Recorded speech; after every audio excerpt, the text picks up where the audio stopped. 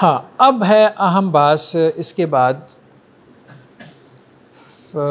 जिसमें लोगों की बहुत ज़्यादा मिसकनसप्शन है। और हज को ना बहुत ज़्यादा मुश्किल भी बना दिया गया। कि मुहरम के लिए, यानी हालत इहराम में जो शख्स है, उसके लिए क्या मुबाह है और क्या उसके लिए ममनू है? एक तो हज वैसी मशक्क़त है, थोड़ी बहुत मोलियों ने भी बना दी है।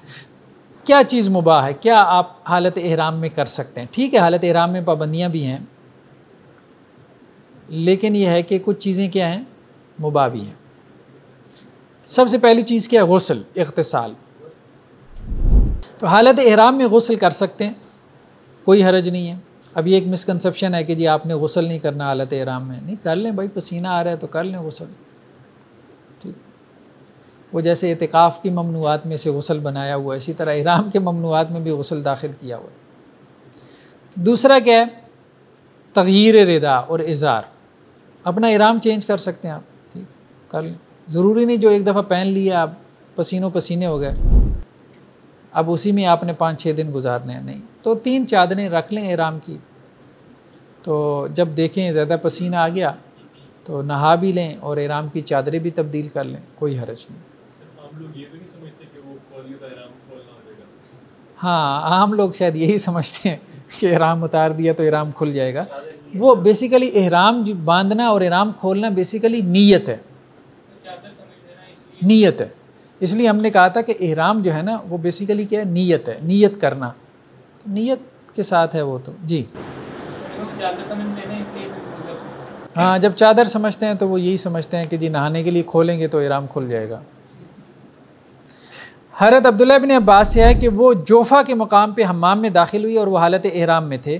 तो उनसे कहा गया कि आप हालत एहराम में हमाम में दाखिल हो रहे हैं। तो उन्होंने कहा, भाई, अल्लाह ताला को हमारे मैले को चैले रहने से क्या गर्ज? मतलब अल्लाह ताला को हमसे कोई मैल को चैल या पसीना थोड़ा मतलूब है। ठीक हर जाबिर से भी रवायत है कि वो हालत एहराम में गसल कर लेते थे और अपने कपड़े भी धो लेते थे। बल्कि हज़रत अब्दुल्ला बिन हुनैन से इन्होंने रवायत नकल की है कि हज़रत अब्दुल्ला बिन अब्बास और मिसवर बिन मखरमा, ये दोनों सहाबी हैं। इनका इख्तलाफ हो गया अबवा के। अबवा ये वो मकाम है जहाँ अल्लाह के रसम की वालदा की डेथ हुई थी। तो यहाँ पे ये थे, मदीना से यानी मक्का आ रहे थे। तो इन दोनों का आपस में इख्तलाफ हो गया। हरत अब्दुल्ला बिन अब्बास और मिसवर बिन मखरमा। हर अब्दुल्ला बिन अब्बास ने कहा कि जी, जो हालत एहराम में है ना, जो शख्स, वो अपना सर धो सकता है। तो हरत मिसवर ने कहा कि नहीं धो सकता। अब्दुल्ला बिन अब्बास ने कहा आ, उनको अब्दुल्ला बिन हुनैन को कि जाओ ज़रा अबू अयूब अंसारी से पूछ के आओ। गवाही लेनी चाहिए ना? तो वो कहते हैं जी मैं गया और मैंने देखा कि एक कुएँ के किनारे जो है वो एक कपड़ा आगे किए गसल कर रहे थे। तो मैंने सलाम किया तो उन्होंने पूछा कौन है? तो मैंने कहा जी अब्दुल्ला बिन हुनैन। मुझे अब्दुल्ला बिन अब्बास ने भेजा और वो ये पूछ रहे हैं कि अल्लाह के रसूल वसल्लम हालत इराम में कैसे गसल करते थे? तो उन्होंने कहा अच्छा तो उन्होंने वो कपड़े के ऊपर से अपना सर ऊपर किया। पूरे कपड़े के पीछे छुपी हुई थी तो सर बाहर निकाला। और फिर अपने सर के ऊपर जो है वो पानी डाल के सर को अच्छे तरीके से मल के धोया और कहा कि देखो मैंने अल्लाह के वसल्लम को इस तरह से हालत इराम में सर धोते हुए देखा है। तो वो ये सारा देख के वापस आए अब्दुल्ला बिन हुनैन। ठीक है? आगे आ रही है बात। तो उन्होंने आके फिर वो बात बताई सारी कि जी, हज़रत अबू अयूब अंसारी तो इस तरह से कह रहे हैं। तो फिर हज़रत मिसवर ने हज़रत अब्दुल्ला बिन अब्बास से कहा कि आइंदा मैं आपके साथ मुबासा नहीं करूँगा। मतलब आइंदा आपने जो बात कही बस ठीक है मतलब आपका नॉलेज मुझसे काफ़ी बेहतर है। ठीक। तो इबन मुंजिर ने ये बात कही है कि अहल इलम का इस बात पे तो कंसेसिस है कि अगर कोई नापाक हो गया तो वो तो जनाबत का गसल तो करेगा, जारी बात है। वो तो फ़र्ज़ गसल है। हाँ इसके अलावा जो गसल है, क्या वो हालत एहराम में कर सकता है? तो मेजॉरिटी कहती है, कर सकता है। कोई हर्ज नहीं। इमाम मालिक ने अगरचे इसको नापसंद जाना है। वो ये कहते हैं जी अब्दुल्ला बिन उमर जो है ना, वो हालत एहराम में अपना सर भी नहीं धोते थे। चलें ठीक है, अब किसी की, अब वो लाजिम भी तो नहीं है गसल करना। किसी ने पाँच छः दिन उसी तरह से निकाल लिए तो ठीक है। निकाल लिए, निकाल लें।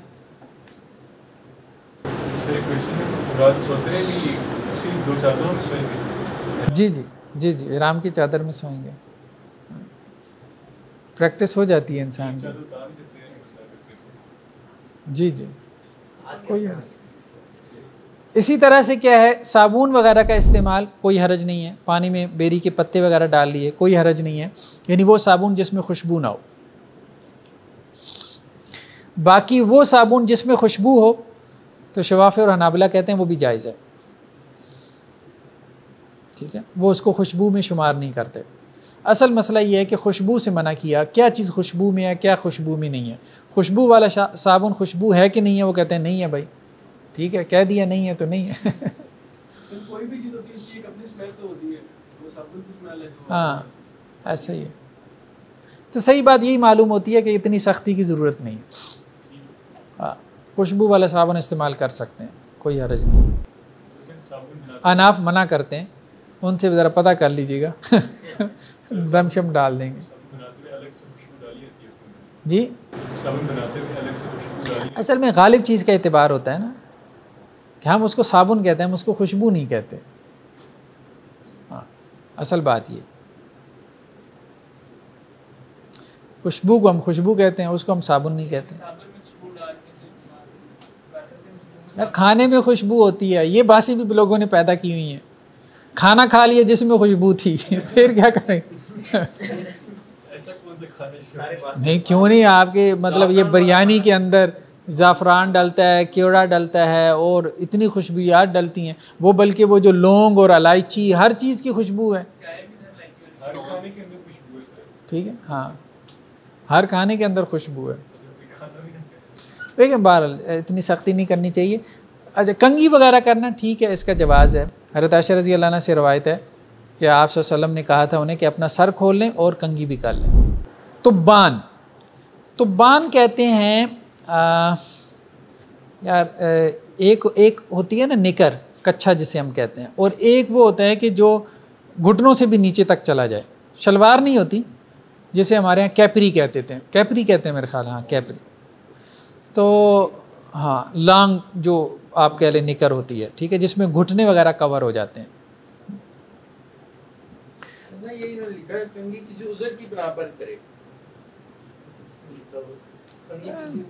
उज़र के बगैर कर सकते हैं हदीस आ गई बस ठीक है। हदीस आ गई ना ये हदीस है ना सही मुस्लिम की रवायत है कि अल्लाह के नबी वसल्लम ने हज़रत आयशा को हुक्म दिया अपना सर खोलें और कंगी करें। ठीक है? जूड़ा वगैरह बनाया हुआ है, खोल के कंगी करें। कोई हरज नहीं। ठीक है? तो बान पहना जा सकता है कि नहीं? बचना चाहिए बारल। कैपरी जो है इससे बचना चाहिए। अगर चेहरत ऐशर रज़ी लाना की राय है, ये उनकी अपना फतवा है, हदीस नहीं है। वो कहती थी, इसमें भी कोई हरज नहीं है। लेकिन नहीं, ये शलवार की असल में मसला ये वो कहते शलवार से मना किया है। ये शलवार तो नहीं है। वही बात इसके ऊपर लफ्ज़ शलवार का इतलाक़ नहीं हो रहा। लेकिन बाहर शलवार की तरह तो है ना। तो तो बान नहीं पहनना चाहिए बेहतर है अवॉइड करें। ठीक? औरतों के लिए बात है नहीं नहीं मर्दों के लिए औरतों के लिए।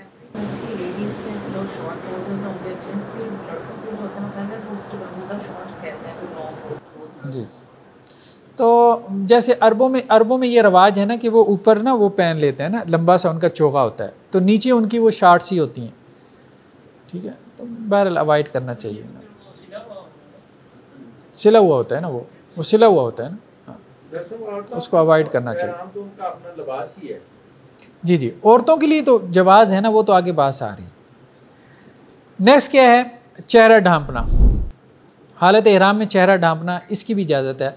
हरत उस्मान और हरत जैद बिन साबित ये तो दो जलील कदर साहबा हो गए। और मरवान बिन हकम इनके बारे में इख्तलाफ है कि ये साबी थे या ताबी थे बहरल ये अपने चेहरे जो है वो ढांप लेते थे हालत एहराम में।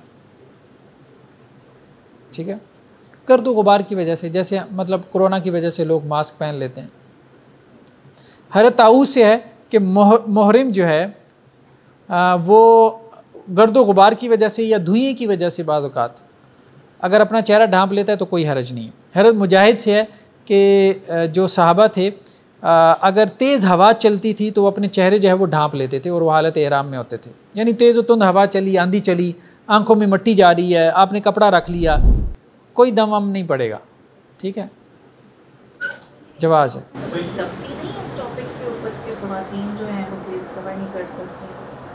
के दिनों तो उसमें दम वगैरह हाँ वो आगे बास खुवातीन की भी आ रही है। सही बहस क्यों पैदा हुई? चेहरा ढांपने वाली ज़रूरी है ना ना क्या? ये बहस क्यों पैदा हुई है? चेहरा ढांपने वाली आमतौर पे ना ढांपना ज़रूरी है? हाँ।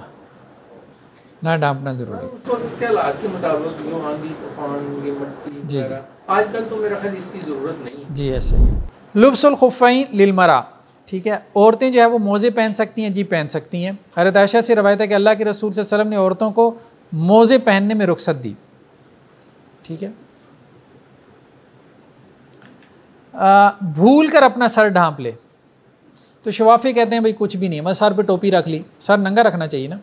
सर पे टोपी रख ली। गलती से। तो शवाफ़ी कहते हैं, कुछ भी नहीं है।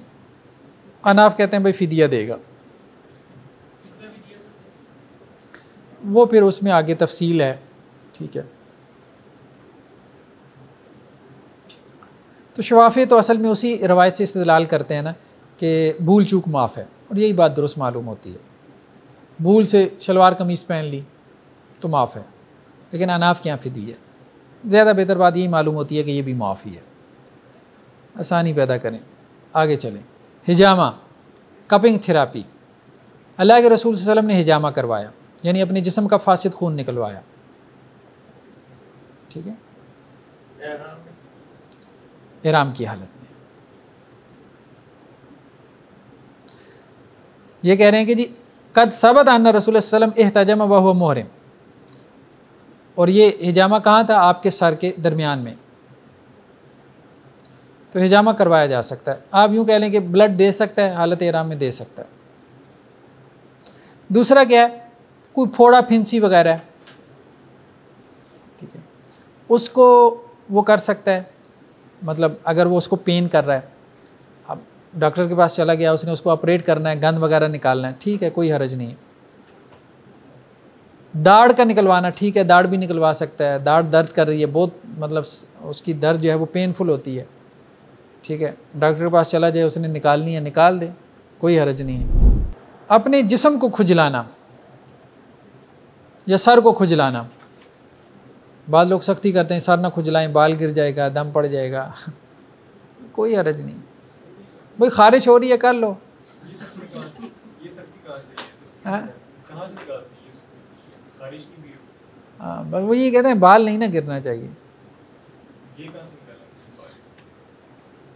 हज़रत आयशा रज़ी अन्हा से सवाल हुआ कि हालत एहराम में क्या अपने जिसम को खुजला सकता है? उन्होंने कहा हाँ खुजला ले। ठीक है? ज़्यादा खुजलाना चाहिए तो ज़्यादा भी खुजला ले और यही फतवा हमें हज़रत अब्दुल्ला बिन अब्बास से हज़रत जाबिर से भी मिलता है। आईना देखना देख सकता है, कोई हरज नहीं। फूल सूंघ सकता है, सूंघ सकता है भाई, कोई हरज नहीं। गुलाब का फूल है, सूंघ ले, कोई हरज नहीं है, ठीक है? जैतून का तेल है घी है इस्तेमाल कर सकता है कर सकता है। देसी घी की अपनी खुशबू होती है जैतून की तेल की खुशबू होती है इस्तेमाल कर सकता है। ठीक है? हज़रत उमर बिन अब्दुल अज़ीज़ उनके बारे में आता है कि वो शीशा भी देख लेते थे मिसवाक भी कर लेते थे हालत एराम में। इबन मुंजिर कहते हैं कोलमा का इस बात पे इत्तेफाक है कि हालत एहराम में वो जैतून का तेल घी वगैरह चर्बी वगैरह इस्तेमाल कर सकता है। ठीक हाँ, अब एक बात ये पैदा हुई कि इतर फरोश के पास बैठ सकता है, कोई परफ्यूम्स की दुकान में घुस जाए, ठीक है? तो अनाफ और मालकिया कहते हैं कि ना जाए, बेहतर है ना जाए, यानी वो उसको मकरू कहते हैं। हनाबिला और शवाफ़ी कहते हैं, भाई, ये को खुशबू लगाना थोड़ी है, ठीक है? अपने काम से जा रहा है तो चला जाए, किसी दुकान में चला गया को ख़रीदारी करने की घर से अब वहाँ परफ्यूम्स भी पड़े थे। अब उसको खुशबू आएगी, या बखूर जल रहा था। अरबों में तो आम है ना, बखूर जलाए रखते हैं। ठीक है? या वो एयर फ्रेशर जो है, जो होता है, हवा में उसको बखेर दिया। कोई अरज नहीं है। इतनी सख्ती की ज़रूरत नहीं। फिर इसमें एक मसला ये भी पैदा होता है। बाद लोग कहते हैं, जी बैतुल्ला के करीब नहीं जाना। खाना काबा को हाथ नहीं लगाना। ज़ाहिर है, खाना काबा तो हर वक्त उसको खुशबुओं में जो है, वो लपेटे रखते हैं उसको। जब आप उसको हाथ लगाएँगे तो आपके हाथ के ऊपर जो है वो अच्छी खासी खुशबू लग जाती है। ठीक है? और वो जाती ही नहीं है। कोई हरज नहीं है। वो मकाम क़ुरब है। खाना काबा के साथ लिपटना, ठीक है? खाना काबा को हाथ लगाना। तो ये तो तकरब के शायर में से है ना? तो कर ले उसमें। और अब उसमें कोई खुशबू लग भी जाती है तो कोई हरज नहीं है। अगर जो शवाफ़े ने इसमें सख्ती की है, वो कहते हैं, नहीं, जाके धोए। कोई इतनी ज़रूरत नहीं सख्ती की। बात ठीक है? खुशबू लगाए ना बस आमदन जिसे कहते हैं खुशबू ना लगाए बस इतनी सी बात है। जिसमें उसकी नीयत इंटेंशन दाखिल नहीं है उसमें खाम खा सख्ती की ज़रूरत नहीं है। तो होगा हाँ। इस नीयत से ना ना लगाएँ। तकरब की नीयत से जैसे लोग लगाते हैं मकाम मुलतज़म पे जाके चिमट जाते हैं तो ये तो मकसूद है।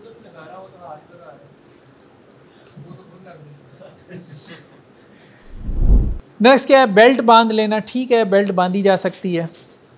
ठीक है, अंगूठी पहनी जा सकती है। उस बेल्ट में जैसे आप कुछ अपनी नकदी वगैरह रख लेते हैं, कोई हरज नहीं। सुरमा लगाना, ये कहते हैं जी, हज़रत अब्दुल्ला बिन अब्बास तो कहते थे कि सुरमा भी लगा सकता है। चाहे आँख की बीमारी हो या ना हो। लेकिन आम तौर पे फुकाहा ये कहते हैं कि जीनत के लिए ना लगाए। बीमारी की वजह से सुरमा लगा ले तो कोई हरज नहीं। हमारे बचपन में तो होता था ना, वो सुरमे की भी किस्में होती थी। ठीक है, एक सुरमा वो होता था कि जब वो आँख ज़रा ख़राब होती थी ना तो माएँ लगाती थी। तो ठीक है आशोब चशम के लिए अगर कोई सुरमा इस्तेमाल कर ले तो कोई हरज नहीं। जीनत के लिए ना लगाए, बेहतर है, अवॉइड करें। ये जो बेल्ट वाली बात आई है, वो उसमें सामान रखने के लिए भी आपने कहा था। तो हैं कोई? वही ना वो पॉकेट टाइप ही होती है ना? हैं ठीक है। हाँ कोई हरज नहीं। हाँ वो सिला हुआ लिबास तो नहीं है ना? नेक्स्ट क्या है कि अपने ऊपर कोई जो है वो साया कर सकता है? जैसे कोई छतरी तान ली। अच्छा कुछ लोगों ने ये भी कहा कि सर नंगा करने का मतलब ये है कि आसमान तक उसके सर पे कुछ भी ना हो। मतलब वो कोई कपड़ा भी अपने ऊपर ना करे।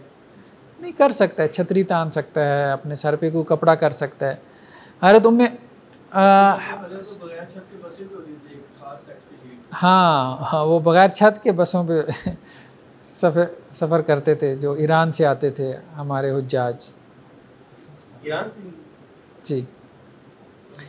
हरत में जो है वो हसीन से रवायत है कि मैंने अल्लाह के रसूल वसल्लम के साथ हजतुलविदा पे हज किया। तो मैंने उसामा बिन जैद और हरत बिलाल को देखा रज़ी नुमा एक ने आप सलम की ऊँटनी जो है वो उनकी लगाम पकड़ी हुई थी और दूसरे ने जो है वो एक कपड़ा आपके सर के ऊपर तान रखा था यानी आपको गर्मी से बचाने के लिए। जैसे हमारे यहाँ छतरी होती है, यहाँ तक आपने अकबा की रमी की। ठीक है? जमरा अकबा। ये मुसनद अहमद और मुस्लिम की रवायत है। मेहंदी लगा सकता है कि नहीं? अब इसमें असल मसला ये कि मेहंदी खुशबू है कि नहीं? जिन्होंने कहा कि ये खुशबू नहीं है, उन्होंने कहा लगा सकता है। जिन्होंने कहा ये खुशबू है, उन्होंने कहा नहीं लगा सकता। तो हनाबला ये कहते हैं कि मेहंदी लगा सकता है, मेल, फीमेल, क्योंकि वो कहते हैं ये खुशबू नहीं है। ठीक है? शवाफ़ी भी उसकी इजाज़त देते हैं बहुत हद तक। बाकी जो मालकिया और अनाफ हैं, वो कहते हैं, नहीं, मेहंदी ना लगाए। वो इसको खुशबू की एक किस्म शुमार करते हैं। अब मेहंदी बाज़ात सही है खुशबूदार भी होती है बाज़ात बग़ैर खुशबू की होती है। जो फुल प्रोटोकॉल है उससे तो ये ज़ाहिर होता है कि जीनत की नफी की गई है। आप कैसे कह रहे हैं कि जीनत नहीं नहीं जीनत की ममानियत का कोई हुक्म नहीं है। जीनत की ममानियत का कोई हुक्म नहीं है ना। कपड़े उतरवा दिए गए हैं बाल नहीं उतारने उसके बाद फिर अपने आप को गजा भी करना है। सारी चीज़ें करनी है तो ये जो पूरा पूरा प्रोटोकॉल की सिस्टम है ये बता रहा नहीं एक एक चीज़ है कि हमें उसकी सेंस क्या समझ में आ रही है। तो उस सेंस की बुनियाद पे हम कोई बात कह दें। ठीक है? कोई हरज नहीं है कह दें कोई हरज नहीं है। आ, लेकिन जहरी बात है कि एक चीज़ हुक्म के अंदाज में आ रही है तो वो बिल्कुल डिफरेंट चीज़ है। कि जीनत इख्तियार ना करो। अगर ये हुक्मी अंदाज में आ जाता तो बात और होती। और एक ये कि वैसे ही हमें समझ में आ रही है तो हम बचते रहें। अपने ठीक है अवॉइड कर लो। फिर उसका हुक्म ये हाँ अवॉइड कर लो। ये नहीं होगा कि हाँ करना है। करना है तो फिर आपको हुक्म लेके आना पड़ेगा।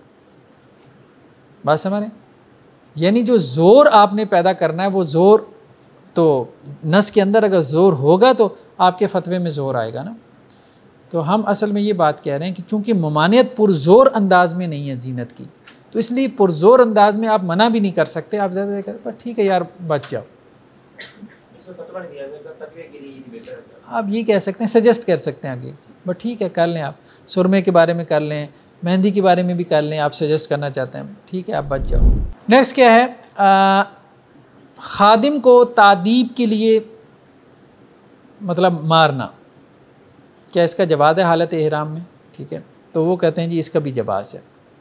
हरत असमा बिनते अभी बकर से है कि हम अल्लाह के रसूल वसल्लम के साथ हज के लिए निकली, अर्श के मकाम पे, ये कोई जगह का नाम है तो काफ़िले ने पड़ाव डाला। हज़रत आयशा जो है वो अल्लाह के रसूल के साथ थी और हज़रत असमा बिनते अभी बकर कहती हैं, मैं हज़रत अबू बकर के साथ थी, यानी अपने वालिद के साथ और हाँ हम सब का जो सामान था, यानी चारों लोगों का, ठीक है, हज़रत असमा का, हज़रत अबू बकर का, अल्लाह के रसूल का, हज़रत आयशा का, वो हज़रत अबू बकर के ग़ुलाम थे, जो पीछे एक ऊँट पे लेके आ रहे थे, चारों का सामान। तो जब काफ़िले ने पड़ाव डाला तो वो पीछे रह गया तो हरत सारी बात सामान की ज़रूरत पड़ी होगी कोई? तो हरत अबू बकर अब उसको देखी जाए, पता नहीं कहाँ है। तो वो बड़ी देर के बाद जो है वो सामने आया, भाई साहब आ रहे हैं। जब करीब पहुँचा तो ऊँट ही नहीं है, ऊँट ही गायब है। तो हरत अबू बकर ने कहा आई ना भाई, रुक। ऊँट किधर है? तो वो उसने तो बड़े आराम से कह दिया, वो तो रात गुम हो गया। ऊँट भी गया, सामान भी गया। तो अरे तो बकर ने कहा, एक ऊँट था तुझे मैंने दिया था। मतलब कुछ दस बारह होते तो उसे संभाले नहीं गए। एक ऊँट तो उससे नहीं संभाला गया। वो भी तो घूम करके आ गया। तो अरे तो बकर आगे बढ़े और उसको मारने लगे। तो उस पर अल्लाह के रसूल से सलम मुस्कराए और कहा कि देखो, ये हालत एहराम में क्या कर रहा है। इससे ज़्यादा आप ने कोई तबसरा नहीं किया। तो खैर बहरहाल, इससे उन्होंने कहा कि तादीबन जो है ना, जैसे बच्चा जो है, अगर आपके साथ हज हज में है और कोई उसको थप्पड़ शप्पड़ लगा दें, तादीबन तो मतलब कोई हरज नहीं है हालत एहराम में भी ठीक सर इससे ये ऑप्शन भी निकल गई कि अगर हेल्पर्स जो हैं वो घर में काम कर रहे हैं तो बैठा जा सकता है जी जी। नहीं देखें अब तो ये अच्छा अच्छा खासा नुकसान करके आ गया था ना। चार पाँच लाख का तो ऊँट है ऊपर से सामान भी। हाँ, तो ये छोटी गलती तो नहीं थी। नेक्स्ट क्या है जी? कत्ल ज़ुबा वलक़ुरात वन नम। चिंटी मक्खी चिचड़ी जिसे पिस्सू कहते हैं। आमतौर पे जो चारपाई वगैरह में होता है बिस्तरों में होता है तो उसको मारना। हरत अता अता ताबी हैं उनसे किसी ने सवाल किया कि जी, ये जो चिचड़ी है, चिंटी वगैरह है, ये हमारे जिसम पे चलती है। ठीक है? उन्होंने कहा, भाई, पकड़ के अलहदा कर दो। ठीक है, अलहदा कर दें। और चिंटी ये काट लेगी ऐसे खाम खा इंसान हो जाए तो पकड़ के अलहदा कर दो।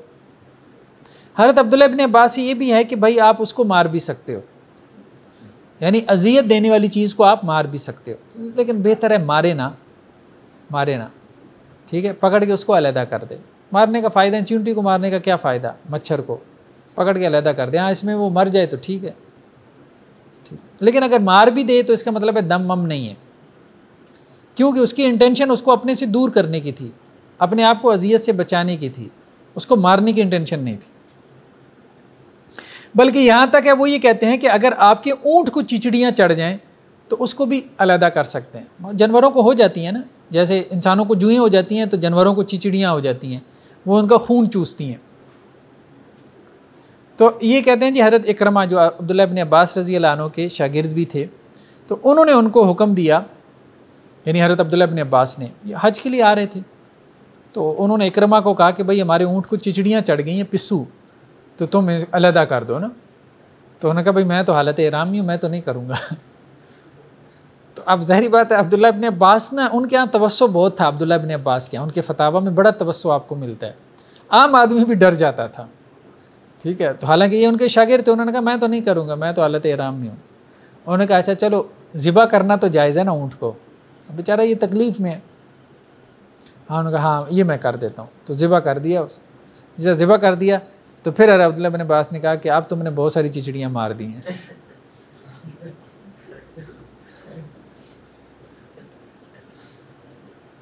नेक्स्ट क्या है? कतलफवासिक अलहम्स वकुल्ल मायूसी पाँच जो है वो फासिक चीज़ें। उनको कत्ल करना, पाँच फासिक चीज़ों को कत्ल करना, और हर मूजी जानवर को कत्ल करना। तो ये कहते हैं हरत आयशा से रवायत है कि पाँच चीज़ें ऐसी हैं कि हरम में भी अगर आपको मिले ना तो आपको ये है कि आप उनको कत्ल करते हैं। ठीक है? कवा चील, अकरब, यानी बिच्छू, चूहा, कुत्ता, और कुत्ता भी वो जो को काटने वाला है। ठीक है? काटने वाला कुत्ता। और, काटने वाले कुत्ते में जो है वो शेर, चीता और भेड़िया वगैरह ये भी शामिल किया गया जैसे ये चीता और शेर कुत्ते की नस्ल से नहीं है वल कल्ब नहीं, कुत्ते के लफ्ज़ का इतलाक़ हो जाता है। कल्ब का इतलाक़ इन पर भी हो जाता है। ठीक है? सीरत में एक वाक़ मिलता है ना, अल्लाह के रसूल वसल्लम ने एक शख्स को कहा था, और मुझे जहन में नाम नहीं आ रहा, कि अल्लाह ताला अपने कुत्तों में से एक कुत्ता तेरे ऊपर मुसलत करे, और उसको जो है वो शेर उठा के ले गया था। ठीक है?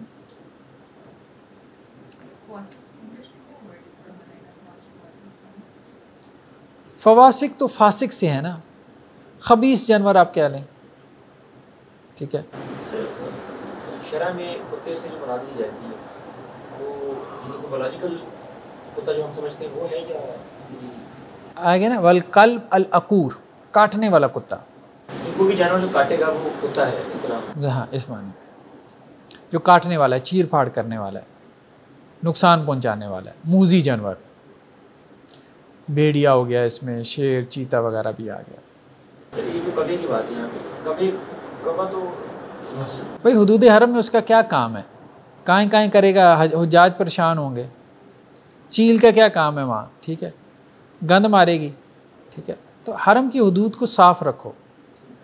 ऐसे जानवरों से ऐसे परिंदों से कि जो सिवाय अजियत के कुछ नहीं करते। कौवा वैसे भी नुकसान पहुँचाते हैं हाँ, वैसे भी नुकसान पहुंचाते हैं कबा तो आपके हाथ का नवाला लेके जो है वो उड़ जाता हाथ है। से ले गया था हाँ, स्टोर था मैं खड़ा वो देख ले रहा था तो वो आया ट्रे में से उठा के चला गया। हाँ, जिद्दी जानवर सर बहुत परिंदा से। हाँ। जिद्दी जानवर। हैं। हाँ। वो होते हैं। हाँ। लेकिन उसमें मना नहीं किया गया। इनसे मना नहीं किया गया। तो इससे मुराद ये है कि इन जानवरों को कत्ल किया जा सकता है। हदूद हरम में, मूजी जानवरों को कत्ल किया जा सकता है और हालत एहराम में भी। नेक्स्ट क्या है जी? एहराम के महजूरात, ममनुआत क्या हैं? ये तो थे मुबाहत, ममनुआत क्या हैं? बीवी के साथ ताल्लुक़ कायम करना, ठीक है। उसमें बोसो किनार वगैरह टच करना, ये सब ममानियत में आ जाता है, ठीक है। नेक्स्ट क्या है? किसी किस्म का कोई गुनाह मासीत किसी भी किस्म का। सगीरा, कबीरा गुना वो भी उसके महजूरात। वो तो वैसी महजूरात में से है तो हालत एहराम में तो जारी बात है, वैसी ममनू है। तीसरा क्या है? झगड़ा। ठीक है? तो कुरान में इन तीन चीज़ों को हाईलाइट किया गया। फ़मन फ़रद फ़ी हिंदल हज फ़ला रफस वला फसूक वला जिदाल फ़िल हज ठीक है? जिसने इन महीनों में हज का इरादा कर लिया तो अब ना तो वो कोई बेहयाई का काम करे, और ना ही कोई गुनाह का काम, और ना ही कोई झगड़ा करे। ठीक है? तीनों से मना कर दिया। नेक्स्ट क्या है? सिला हुआ कपड़ा पहनना। ठीक है? सिला हुआ कपड़ा पहनने से भी मना किया गया। कमीज़ वगैरह है, टोपी है, शलवार है, ठीक है, इमामा है। हरत अब्दुल्ला बिन उमर से रवायत है कि हालत एहराम में ना तो कमीज़ पहने, ना इमामा बांधे, ना टोपी पहने, ना शलवार पहने, ना कोई ऐसा कपड़ा पहने कि जिसको वर्स और ज़ाफ़रान ने टच किया हो। यानी खुशबू उस उस खुशबू में उसको रंगते थे, ठीक है? ज़ाफ़रान की होती थी या वर्ष एक बूटी थी और ना मोज़े पहने। मोज़े भी नहीं पहन सकता क्योंकि उससे टखने कवर हो जाते हैं। हाँ अगर उसको जूते ना मिले तो वो क्या करे? फिर वो मोज़े पहन सकता है, लेकिन उसको ऊपर से काट ले। ठीक है? यानी टखनों से नीचे नीचे उसको कर ले, मोज़ों को। तो इसका मतलब ये है कि बंद जूता पहन सकता है। सिर्फ़ टखने नंगे होने चाहिए। की है ये पब जिसे हम लेके टखने काबैन। ठीक है? जब हम उम्रा करने जाते हैं तो वो कहते हैं कि ये जूती पहने ये इस तरह करें आज वगैरह करें। देखिए वो अनाफ के यहाँ सख्ती है। असल में काब जो है ना काब काब अरबी ज़ुबान में टखने को कहते हैं। और अर्जुलकुम मिलल काबैन। हाँ। हाँ। कुरान में है कि वारजुलकुम इलल काबैन का लफज है। ठीक है? जहाँ वज़ू का ज़िक्र आता है कि अपने पाँव धोएँ आप टखनों तक। तो टखनों के माने में आइए। लेकिन अनाफ उसके लुगवी माने में चले गया। उन्होंने कहा जी काब का मतलब होता है ऊँचा। अब टखना भी चूँकि उभरी हुई चीज़ है ऊँचा है तो उन्होंने कहा असल में हर उभरी हुई जो हड्डी है ना पाँव में वो काब है। तो उसमें जो है वो ये हड्डी भी है टखने की हड्डी भी है इसमें ये जो दरमियान वाली हड्डी है ना ये भी है और इसमें जो पिछली हड्डी है पिछली साइड की वो भी है। तो अब फिर कैंची चप्पल बाकी रह जाती है। ऐसे ही है? असल में बज़ाहिर रवायतों से ये महसूस होता है कि नहीं ये लघवी माने में नहीं है। जो इसका मारूफ माना है ना उर्फ़ी माना है। टखना ही मुराद है इससे। वहाँ ये जो भी आयत कुरान की पढ़ी उन्होंने वाली वहाँ क्या इस्तेदलाल करते हैं? वहाँ तो असल में यहाँ वो कहते हैं ना यहाँ लघवी माना मुराद है। इस्तलाई नहीं। वहाँ वो इस्तलाई माना मुराद ले लेते हैं। उर्फी माना। ठीक है? इलल काबैन। काबैन से मुराद टखन टखनों तक जहाँ तक औरत का मामला है, ठीक है तो वो शलवार भी पहन सकती है, कमीज़ भी पहन सकती है। हाँ उसे जिस चीज़ से मना किया गया, वो तीन चीज़ें खुशबू से और निकाब से और दस्तानों से। दस्ताने। दस्ताने, ये जो क्या कहते हैं उसको? ग्लव्स ग्लव्स ये नहीं पहन सकते। आगे आ रही है अभी तो बात शुरू की है। ख़त्म तो नहीं गई इमाम बुखारी और इसी तरह मुसनद अहमद में भी है कि अल्लाह के नबी वसल्लम ने कहा कि एहराम वाली औरत ना तो निकाब करेगी और ना ही जो है वो ग्लव्स पहनेगी दस्ताने पहनेगी ठीक है अब निकाब से क्या मुराद है? असल में यहाँ पे इख्तलाफ हो गया कि निकाब से क्या मुराद है।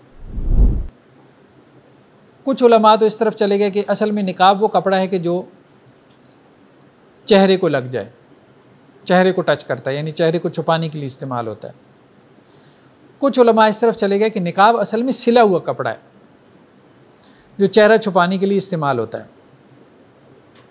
और यही बात ज़्यादा बेहतर मालूम होती है। असल मसला ये नहीं है कि कपड़ा जो है वो चेहरे को टच करे या ना करे। वो तो पीछे रवायतें आ गई ना कि मर्द भी अपना चेहरा छुपा सकते हैं, ज़रूरत के वक्त। ठीक है? साहबा से ये बातें मिलती हैं। तो ये तकल्लुफ़ करना कि जी वो आगे से एक पी कैप पहन के, फिर उसके ऊपर से आगे कपड़ा लटका लेना ताकि चेहरे को टच ना करे। हमने निकाब नहीं किया हुआ, ये नहीं। मसला देखें एह- एहराम में सारी बहस किसके गिर्द घूम रही है? कि सिला हुआ कपड़ा नहीं पहनना। दो चादरें जो हैं, वो भी किस लिए हैं? ठीक है? हाँ मतलब कवर करना मसला नहीं है। मसला है कि सिला हुआ कपड़ा नहीं पहनना। तो इसलिए वो ख़ास कपड़ा जो चेहरा छुपाने के लिए डिज़ाइन किया गया हो, बनाया गया हो, उसको औरत इस्तेमाल ना करे। जैसा कि आगे रवायतों में आ रहा है, इसी की वजाहत आ रही है। ये हरत आयशा रज़ी से रवायत है। वो ये कहती हैं कि काफ़िले हमारे पास से गुज़रते थे।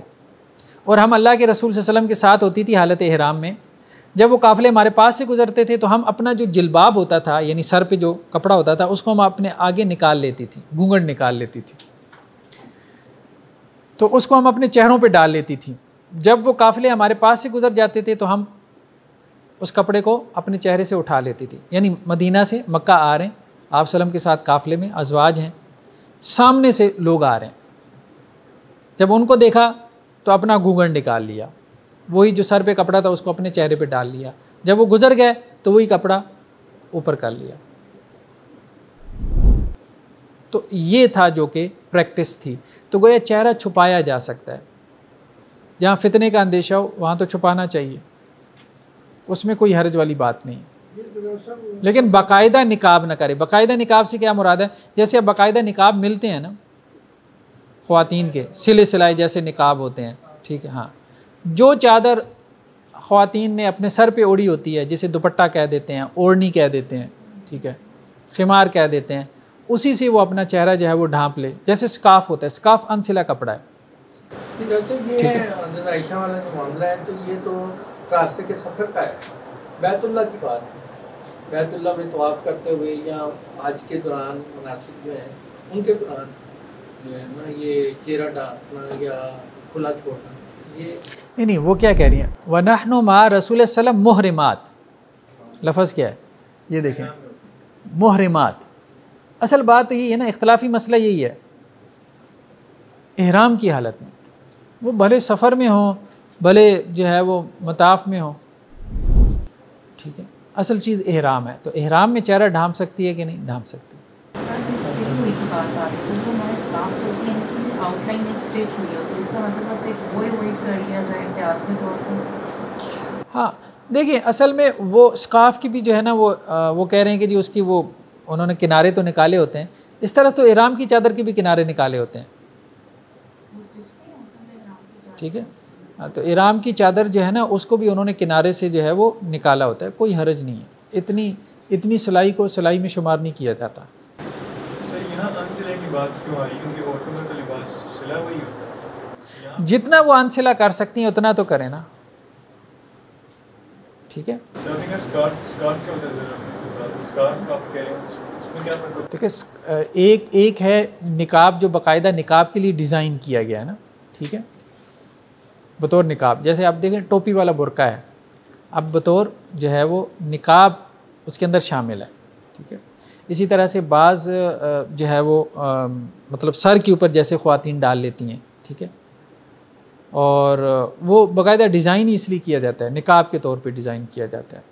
एक है स्काफ स्काफ बेसिकली डिज़ाइन किया जाता है सर छुपाने के लिए। उसी स्काफ से अगर वो अपना चेहरा भी ढांप ले तो कोई हरज नहीं। अरे स्काफो सर पे आ गया बाकी चेहरे की वो रही। कोई हरज नहीं है अगर किसी खातून ने जो है वो अपना चेहरा खुला भी रखा हालत इहराम में तो कोई हरज नहीं है। ठीक है हम ये बात कर रहे हैं कि इसका जवाज़ है कि नहीं? जवाज़ है बल्कि बाद इसके वजूब की तरफ़ भी गए वो फिर इख्तलाफी मसला है। जो जी हिजाब कहा जाता है। जी उसी उसी को हिजाब को ही निकाब बना। तो हाँ सारा टाइम करे रखे कोई हरज नहीं। तो मैंने साबुत तो साबुत हो गया कि नकाब पहले औरतें करती नहीं ना। इहराम से पहले तो करती होंगी इसलिए तो मना किया। जी जी ऐसे ही।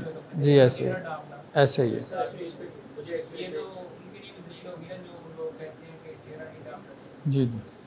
मुझे इसलिए एक सवाल था कि हमने हमाशा की मिसाल देखी जो महातुल मोमिनीन में से और वो जो स्कूल ऑफ़ थॉट ये कहता है कि वो आयत जो थी वो हिजाब वाली वो बिलखसूस महातुल मोमिनीन की थी और वो हमारे लिए मसले रहा नहीं है बिल्कुल की ज़ात है। तो फिर उसका रद्द कैसे करेंगे? क्योंकि वो भी एक वैलिड रीज़न है। हरत असमा से भी है। हरत आयशा की जो बहन है हरत असमा अभी पीछे रवायतों में उनका तस्करा भी गुजरा है तो वो भी काफ़िले में शरीक होती थी। उन्होंने भी ये बात बयान की कि हम भी अपना चेहरा ढांप लेती थी। लेकिन उसकी ताबीर तो वो ये करते हैं ना कि वो तकबे की हद तक तो ठीक है लेकिन फतवा कुरान में उनके नहीं है। तो नहीं नहीं वो तो फिर बात वो फिर जो मर्ज़ी निकालें देखें वो तो औरत तो फिर कह लें हमें क्या फ़र्क पड़ता है? हम अपनी बात कह रहे हैं वो अपनी कहते रहें। कह तो रहे लेकिन मैं समझना चाह रहा हूँ इस मसले को कि किस तरह एड्रेस करना है। क्योंकि मुझसे भी कोई लिटरली कोई यानी कज़न वगैरह पूछेगा इस पर क्या फतवा तो मैं चुप कर जाता हूँ मैं कहता जो करना कर लो। पता नहीं क्या फतवा से बस तकवा मैं बता देता हूँ कि तकवा यही है कि आपको चेहरा ढांपना चाहिए। बस ठीक है इतनी बात कर देते तो अच्छी बात है। तो वैसे ये इख्तलाफी मसला है ये बात तो ठीक है। मेजॉरिटी इसको वाजिब कहती है। तो चेहरे के पर्दे को मेजॉरिटी जो है वो वाजिब कहती है। तो हाँ हज का मसला इख्तलाफी है। हज पे जो है वो मेजॉरिटी ये कहती है कि जवाज़ है। चेहरे का पर्दा जायज़ है वाजिब नहीं कहते। देखिए ना यहाँ इन्होंने कहा कि इमाम मालिक इमाम शाफ़ी इमाम अहमद का कहना यह है कि जवाज़ है इसका। किया जा सकता है। किया जा सकता है। हज के अहकाम ज़रा डिफरेंट हैं। कि वहाँ जाके भी आप वो कहे कि जी मैं तो यहाँ भी, भी फितने में हूँ। हर मुकाम का भी लिहाज है। मतलब उस मुकाम का रोब उसके ऊपर होना चाहिए। नकाब की वजूद के जो कायल हैं वो नस कहाँ से लेते हैं? नकाब की वजूद के जो कायल हैं वो नस कहाँ से पढ़ते हैं? या नबी कुल्ल अजवाजी का व बनाते का व नसाइल मोमिनीना। हाँ व नसाइल मोमिनीना क्या है? बोले ना आप कुल्ल अजवाजी का व बनाते का व नसाइल मोमिनीन कौन है ये? युदनीन अलहिन्न मिन जलाबी बिहिन्न बात है हमारी के दौरान हो रही है। ये आम हालात के अहकाम है। जी। तो ट्वेंटी फोर आवर के जो है ना अहकाम है। ये तो जो पर्दे का या नकाब का ये हज के दौरान की बात हो रही है। हाँ ये तो हज के दौरान की बात। लेना या ना लेना ये बहस है। ये बात हालात में तो ये लाजमी है कि वो पर्दा करेगी? जी जी। ये Female- बात सवाल उसी पे कि वो जो एक एक तो कि पर्दा एक चेहरे का पर्दा दोनों अलग बात नहीं नहीं ये हज के देखिए ना चेहरे का पर्दा जो है ये जो आयत है कुरान की ठीक है? कुल्ल अजवाजी का व बनाती का व नसाइल नसाइलमिन युदनीन अलहिन्न मिन जलाबी बिहिन्न ठीक है? तो उसके बाद अजवाज मुतहरात ने चेहरे का पर्दा शुरू कर दिया वो तो वो भी मानते हैं और कौन सी आयत लेके आएँगे जिसके बाद उन्होंने किया जलाब की इंटरप्रिटेशन है ना जलाब में वो ये बात है कि अरबी में वो एक यानी चीज़ इसकी मतलब मैंने पढ़ा इसको थोड़ा सा वो कह रहे हैं कि जलाब के अंदर होता ही चेहरे का पर्दा शामिल नहीं नहीं नहीं अभी तो आप ये कह रहे हैं कि अजवाज करती थी करती थी कि नहीं वो किस आयत को सामने रखने के बाद उन्होंने करना शुरू किया सर ये उनके लिए वो फिर नस पकड़ते हैं ना वहाँ से। कहाँ से? यही सूरह अजाब की तो यही आयत है। इसके बाद आप कह रहे हैं कि सही बुखारी की रवायत है। इसके बाद ही हज़रत आयशा रज़ी अल्लाह ने इसी का हवाला दे के कहा। वो जो रवायत आती है ना गजब बनु मुस्तलक की रवायत आती है। ठीक है? जब वाक़ इफ़्क हुआ था और वो रस्ते में रह गई थी और पीछे से हज़रत सफ़ान बिन मुअत्तल आ रहे थे और उन्होंने देखा और उनकी नज़र पड़ी तो उन्होंने अपना जो है वो जिलबाब सीधा किया। तो वहाँ बाकायदा जिलबाब के लफ्ज़ हैं ठीक है? तो वो जिलबाब तो बेसिकली चेहरा ढांपने के लिए इस्तेमाल होता था।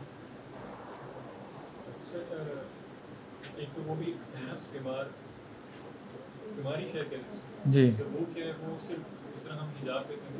खिमार जो है वो दुपट्टा है ठीक है?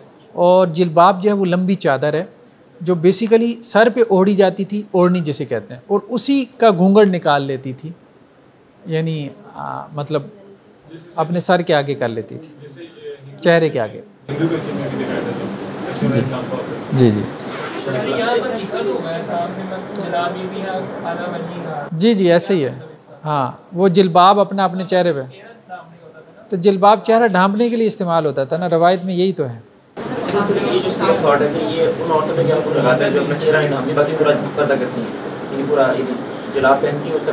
चेहरा खुला देखिए, असल में देखें बहुत सारी चीज़ों को ना हमारे यहाँ हम लोग ना उसको फ़िकी उसमें ज़्यादा ले गए हैं। फ़िकी खींचतान में मैंने देखा, अब इसलाह नहीं होती। लोगों को बस मोटिवेट करें। अपना मौके बयान कर दें, लोगों को मोटिवेट करें। फतवा लगाएँगे ना, लोग रिएक्शन में आ जाते हैं। ठीक है यार, तुसी बड़े पाक साफ़ पाकबाज हैं। और वैसे ही माशरा बहुत ज़्यादा गिरा हुआ है। जितना माशरा गिरा हुआ है ना तो इतने में अगर वो स्काफ भी कर रही है ना तो उसको अप्रिशिएट करें। और इस तरह से अप्रिशिएट करें कि मज़ीद निकाब की तरफ़ आ जाए। बस अप्रिसिएशन से आए। है। कि उसको मतलब का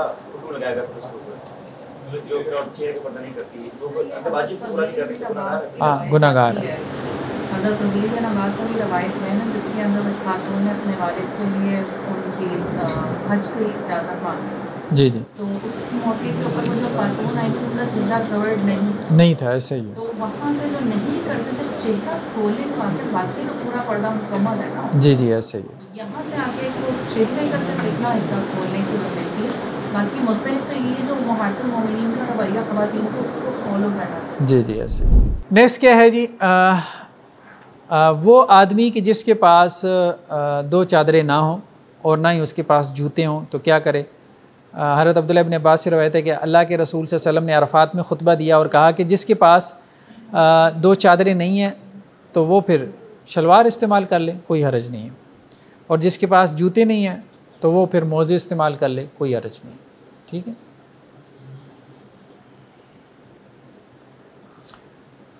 और इमाम अहमद बिन हम्बल का यही फतवा है। बाकी इमा कहते हैं कि नहीं मोज़े इस्तेमाल कर ले लेकिन काट ले। काट के इस्तेमाल करें। इमाम अहमद बिन हम्बल कहते हैं नहीं भाई अल्लाह के रसूल ने कहा कर ले तो बस कर ले। काटने का ज़िक्र ही नहीं है। वो कहते हैं नहीं दूसरी रवायत में है ना काटने का ज़िक्र। वो पीछे गुजरी है ना? मतलब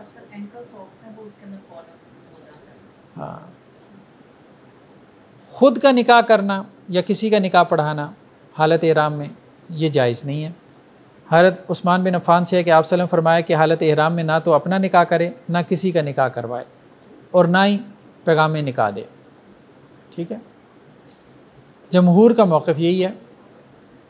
इमाम अबू हनीफ़ा के नज़दीक या अनाफ के नज़दीक इसका जवाब है। वो कहते हैं, अकद निकाह है ना कॉन्टैक्ट है कॉन्टैक्ट में कोई हरज नहीं है, ताल्लुक़ से मना किया गया। लेकिन नहीं, हदीस में वाज तौर पे मौजूद है कि निकाह भी नहीं कर सकता। वो असल में एक और रवायत से दलील ले लेते हैं कि अल्लाह के रसूल वसल्लम ने हरत मैमूना से निकाह किया और आप हालत इराम में थे। लेकिन उसमें भी रावी की गलती है। वो गलत फहमी है रावी की हरत अब्दुल्ला बिन अब्बास की। रवायत है, उन्हें गलत फहमी हुई। हज़रत मैमूना ख़ुद कहती हैं कि मेरा निकाह हुआ, मुझे पता है कि मैं हालत इराम में नहीं थी। हाँ उनका ख़ुद तबसरा मौजूद है। तो वो ज़ारी बात है ठीक है, रवायत ठीक है सनत के अतबार से हज़रत अब्दुल्ला बिन अब्बास की, लेकिन उन्हें गलती लग गई। जिनका निकाह हुआ, जब वो ख़ुद इनकार कर रही हैं। तो इसलिए हालत इहराम में जो है वो निकाह, पाँच छः दिन है, बंदा सब्र कर ले। अच्छा जी, अपने नाखून काटना और बालों का इजाला करना, दरी बात है नाखून नहीं काट सकता, अपने बाल नहीं मुंडवा सकता, बाल छोटे नहीं करवा सकता, ठीक है? वला तहलिकू रूसकुम हत्ता यबलगल हदियो महिल्ला। जब तक कुर्बानी ना हो जाए, उस वक्त तक सर नहीं मुंडवा सकता। कुर्बानी की बात कर सकता है, ठीक है? खुशबू खुशबू नहीं लगा सकता, कपड़े में या बदन में। मर्द या औरत, दोनों के लिए मना है। हरत उमर रज़ी लानों ने हरत अमीर माविया रज़ी लानों को देखा कि उन्होंने खुशबू लगाई हालत एहराम में। तो उन्होंने कहा, भाई, जाके आप इसको धो के आएँ। मैंने अल्लाह के रसूल वसल्लम से सुना कि हज इस तरह से नहीं होता, ठीक है? आज तो परागंदा बाल हों और बंदा मतलब अल्लाह के आगे रुलने वाली बात है, ठीक है? बल्कि एक और रवायत में इन्होंने कहा कि जब हालत एहराम में कोई शख्स मर जाए तो उसको भी खुशबू ना लगाई जाए और उसके कफन को भी। क्योंकि आप ने फरमाया कि उसके सर को भी ना ढांपो जो हालत एहराम में फ़ौत हो जाए। उसके सर को भी ना ढांपो और उसको खुशबू भी ना लगाओ। क़्यामत वाले दिन वो लब्बई लब्बई कहता हुआ उठेगा।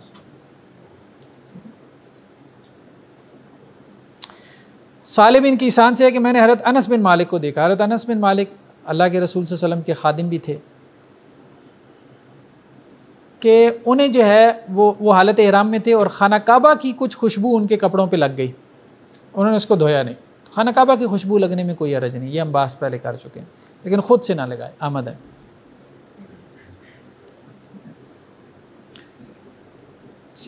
ऐसा कपड़ा जो कि खुशबू, यानी कलर वाली जो खुशबू होती है, उसके अंदर रंगा गया हो तो वो भी नहीं पहनना। हरत अब्दुल्ला बिन उमर से रवायत है कि आप वसल्लम फरमाया कि ऐसा कपड़ा ना पहनो कि जिसको वर्स या ज़ाफ़रान की बूटी से रंगा गया हो। यानी उसमें खुशबू आती होगी ना फिर। हाँ उसको धो के पहन लो तो कोई अरज नहीं। शिकार का पीछा करना, या शिकार करना, ये भी मना है। हालत एहराम में शिकार करना। उसकी तरफ़ इशारा करना, ये भी मना है। यानी किसी और को बताए, ओ, जा रहा है, पकड़ लो। ये भी मना है। ठीक है? इशारा भी नहीं कर सकता। ये तो कुरान में आ गया ना, कि खुशकी का शिकार तुम्हारे लिए क्या है? मना है। हाँ समुंदर के रास्ते अगर आ रहे हो तो उसका शिकार तुम्हारे लिए जायज़ है। एक तरह से साधु बन जाना है अपने बेजरर बन जाना है हज के मौका पे ठीक है? जानवरों को भी नुकसान नहीं पहुंचाना।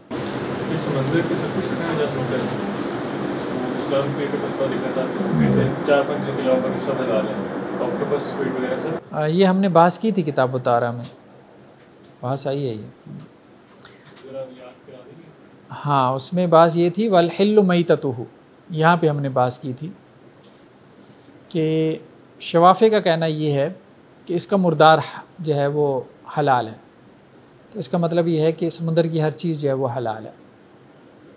सिवाय एक आध चीज़ के जो है वो उसको इस्तना करते हैं, खंजीर। समुंदर का जो खंजीर है। हाँ कुछ जो है ना वो फ़ुकहा ये कहते हैं, शवाफ़े के यहाँ ज़रा ज़्यादा आसानी है। अनाफ के यहाँ ज़रा ज़्यादा सख्ती है वो कहते हैं जी मछली है जो हलाल है। बाकी सब उन्होंने हराम किया उन्होंने सब ही हलाल किया हुआ है शवाफ़े ने इन्होंने सब आराम किया हुआ है। दरमियान में एक राय है कि जो समुंदर के ऊपर जिसका इन्हिसार है डिपेंड करता है जो पानी का ही रहशी है पानी के बगैर नहीं रह सकता वो हलाल है। ये बात बेहतर मालूम होती है। हाँ मतलब अंडे ख़राब करना किसी जानवर के अंडे ख़राब करना। हाँ ये भी ठीक नहीं है ना। हाँ। जी? केकड़ा जो है केकड़ा हलाल है खाएँ। स्क्विड वो तो पानी में रह सकते थे। स्क्विड ऑक्टोपस वगैरह। स्क्विड ऑक्टोपस वगैरह। हाँ हम हम असल में बाकायदा इसके ऊपर पढ़ेंगे। एक ही जगह हर उसूल नहीं ना अप्लाई होता। उसूल एक नहीं है ना मुख्तलिफ़ उसूल हैं ठीक है? बाकायदा मुहर्रमात की बात हम पढ़ेंगे। एक तो है शिकार करना ये तो मना है। क्या शिकार खा सकता है? शिकार खा सकता है। अगर उसके लिए शिकार नहीं किया गया, अगर जो हालत इराम में है, उसके लिए शिकार नहीं किया गया, किसी ने अपने लिए किया और वो उसकी मेहमान नवाजी के तौर पे उसको शिकार का गोश्त पेश करे तो उसमें कोई हरज नहीं है। ये कहते हैं जी, सही बुखारी और मुस्लिम की रवायत है हरत अबू कतादा से कि वो हज के लिए निकले अल्लाह के रसूल वसल्लम के साथ। तो आप वसल्लम ने कुछ लोगों को कहा कि आप ज़रा साहिल के साथ साथ चलें ना। शायद कुछ सिक्योरिटी के पॉइंट ऑफ़ व्यू से कि हम इधर से जाते हैं और आप ज़रा उधर से जाएँ। ठीक है? तो वो कुछ लोग जो है हरत अबू कतादा के साथ, साहिल के साथ साथ सफ़र करने लगे। मदीना से जब आप मक्का की तरफ़ आते हैं ना तो आपके राइट साइड पे जो है वो साहिल की पट्टी पड़ती है ना? तो वहाँ जो है वो अब मामला ये हुआ कि लोगों ने इराम बाँध लिया, लेकिन इन्होंने अभी तक इराम नहीं बांधा था। अभी मिकात आगे था। तो रस्ते में जो है वो इनको एक ज़ीबरा नज़र आया। तो हरत अबू कतादा ने वो ज़ीबरा जो है वो पकड़ लिया और उसको पकड़ के जो है वो उन्होंने ज़िबा किया। ज़िबा करके फिर लोगों ने खाया। खा खाने के बाद उनको याद आया कि हम हालत इराम में हैं। तो फिर वो अल्लाह के रसूल वसल्लम के पास आए। तो आप वसल्लम ने कहा कि अच्छा तुम में से किसी ने अबू कतादा को इशारा किया था? तो उन्होंने कहा नहीं। हाँ, बस ठीक है कोई हरज नहीं है। ज़ीब्रा हलाल है? है। ठीक है। ज़ीबरा हलाल है ना? उसकी हरमत की कोई वजह नहीं है। हैं? जी? मोहिम जानवर जिबा कर सकते हाँ? जानवर ज़िबा कर सकता है।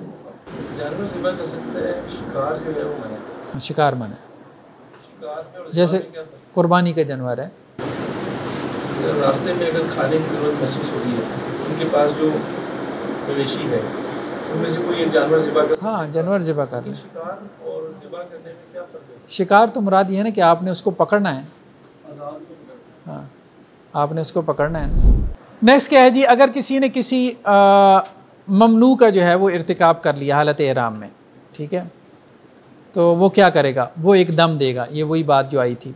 बकरी जो है वो एक कुर्बान करेगा। बकरी बकरा दुम्बा भेड़ ठीक है? अगर वो नहीं है तो छः मसाकिन को खाना खिलाएगा। छः मिस्किन को खाना नहीं खिला सकता तो फिर क्या तीन दिन के रोज़े रखेगा। उसके पास ऑप्शन है। यानी जिसके ऊपर दम पड़ गया तो उसके पास तीन ऑप्शन है। या तो कोई जानवर ज़िबा करे और मसाकिन में तकसीम कर दे, या छः मसाकिन को खाना खिलाए। अपनी इस्तात के मुताबिक, ठीक है? या फिर तीन दिन के रोज़े रखे। तो रखता है बकरी की ज़िबा करने की मगर तीन रोज़े रख लेता है। हाँ ठीक है, रख ले, कोई अर्ज़ नहीं है। नहीं नहीं कंजेक्टिव नहीं है। ठीक है। अलग-अलग भी रख सकते हैं। हर काब बिन उजरा से है कि हदैबिया के मौका पे वो अल्लाह के रसूल वसल्लम के पास आए और उनके सर से जुएँ जो है वो टपक रही थी। तो आप सलम फरमाया कि आप अपना सर मुंडवा दें। ठीक है? यानी अभी तो उम्र के लिए जाना था। तो सर मुंडवा दें और आप एक जानवर जो है वो फिर ज़िबा करें। या आप तीन दिन के रोज़े रखें या आप छः मसाकिन को खाना खिलाएँ। निस्सा निस्सा हर मस्किन को ठीक है? तो कोई हरज नहीं है मतलब अगर किसी उज़र की वजह से अपने बाल वगैरह मुंडवा ले तो कोई हरज नहीं है। आ, उनका सर जैसे जुओं से भरा हुआ था लेकिन उसके बदले में फिर एक कुर्बानी देगा। तो दम पड़ने का मतलब ये हाँ। सिर्फ़ एक ममनू ऐसा है कि जिसका इरतकाब करने की सूरत में उसका हाजी नहीं होता। बाकी जितने भी ममनुआत हैं, जैसे खुशबू लगा ली, शलवार पहन ली, कमीज़ पहन ली, ठीक है, या और इस तरह से कोई ममनू हो गया तो उसमें उसके ऊपर दम पड़ता है, ठीक है।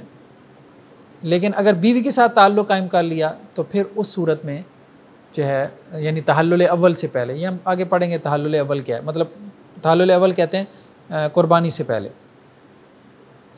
कुर्बानी जब आप कर लेते हैं और उसके बाद आप जब सर मुंडवाते हैं तो उसको तहल्लुल अव्वल कहते हैं। यानी आप इहराम खोल देते हैं ना तो तहल्लुल सानी कहते हैं तवाफ़ इफ़ादा के बाद जो तो तहल्लुल अव्वल से पहले अगर उसका ताल्लुक़ कायम हो गया तो उसका हज फासिद है, वो उसकी जगह दोबारा हज करेंगे, दोनों, मियाँ बीवी, कज़ा हज करेंगे, लेकिन इस हज को भी मुकम्मल करेंगे और साथ में एक ऊँट की कुर्बानी देंगे।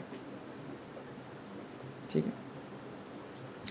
मतलब एक ममनू ऐसा है कि जिससे हज फासिद हो जाता है, बाकी ममनुआत में क्या है? कि सिर्फ़ दम वगैरह पड़ता है। सर वो हज दोबारा करेंगे? कज़ा इसकी भी देंगे यानी हाँ।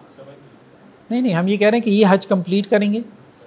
ये जितना रहता है ये हज कंप्लीट करेंगे और इसमें एक ऊँट की कुर्बानी देंगे और इसके बाद उस इस हज की दोबारा कज़ा भी देंगे। नहीं नहीं इश्तिहादी मसला नहीं है। ऊँट की इस्तात ना हो तो फिर गाय गाय की ना हो तो फिर बकरी। ठीक है? फिर यही है कि उसके रोज़ों के ऊपर आ जाएगा। आइंदा साल हो।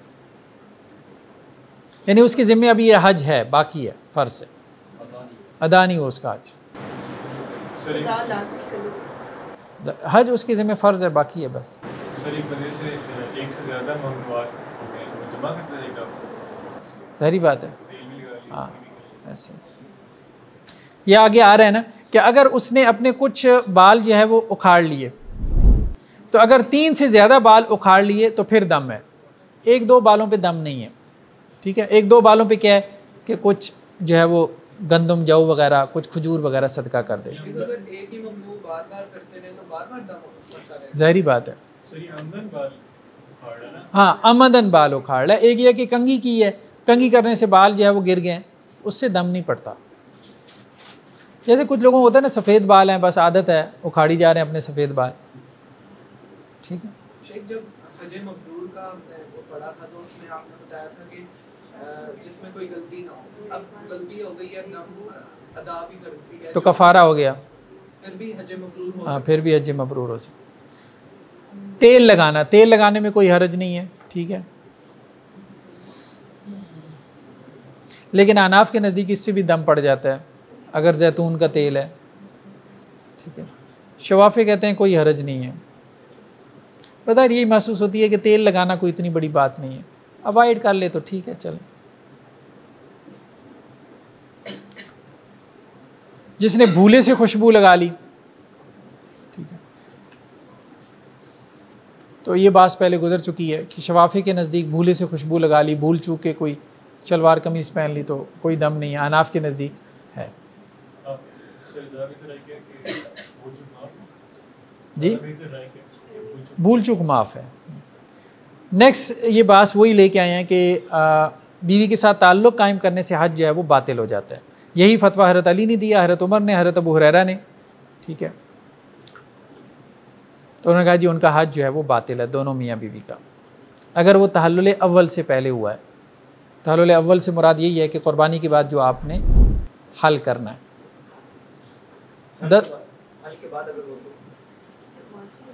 जी। तो हो हाँ अगर हल के बाद उसने इराम खोल दिया। देखे ना दसवीं वाले दिन जो है वो आपने चार अमाल करने होते हैं। सबसे पहले आ, आपके आप रमी करते हैं। रमी के बाद फिर आप कुर्बानी करते हैं। कुर्बानी के बाद जो है वो आप करते हैं अपना हल्क। सर मुड़वाते हैं। फिर उसके बाद आप इराम खोल देते हैं। एक चीज़ रह जाती है जिसे तवाफ़ फ़ादा कहते हैं तवाफ़ ज़ियारत कहते हैं। तो इराम खोलने के साथ ही, यानी आपने कुर्बानी की, आपने इराम खोल ली, ये तहल अव्वल हो गया। इससे पहले अगर ताल्लुक़ कायम किया तो हज फासिद है। दोबारा करना होगा। हज उसके ज़िम्मे बाकी है। इसके बाद अगर ताल्लुक़ कायम किया और तवाफ़ फ़ादा से पहले तो फिर कुर्बानी है। फिर फिर दम है। हाँ। लेकिन हज हो जाएगा।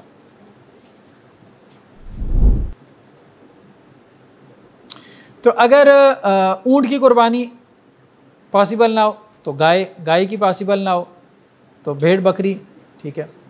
और अगर भेड़ बकरी भी ना मिल रही हो तो फिर क्या करें? दराहिम में उनका हिसाब लगा ले कि एक भेड़ बकरी कितने दिरम में आएगी। उतने दिरा- दिरम का खाना लेके मसाकिन पे सदका कर दे। और अगर ये भी ना कर सकता हो तो फिर क्या करे? फिर जो है ना वो आ, जितना खाना बनता है उसके इवज़ जो है वो रोज़े रखे। उतने रोज़े रखे। ये इन्होंने कैलकुलेट किया हुआ है हर मुद के हिसाब से एक रोज़ा रखे। खैर बहर मुनासिब सा देख ले। आगे इन्होंने वो किया हुआ है कि जी आ, मतलब अगर कोई गाय है तो उसके 20 रोज़े बन जाते हैं अगर कोई ऊँट है तो उसके 30 रोज़े बन जाते हैं। मतलब एक कैलकुलेशन की हुई है। ठीक है जी मेरे ख्याल में आज इतनी काफ़ी है। सुबह नकल्ला हम नशद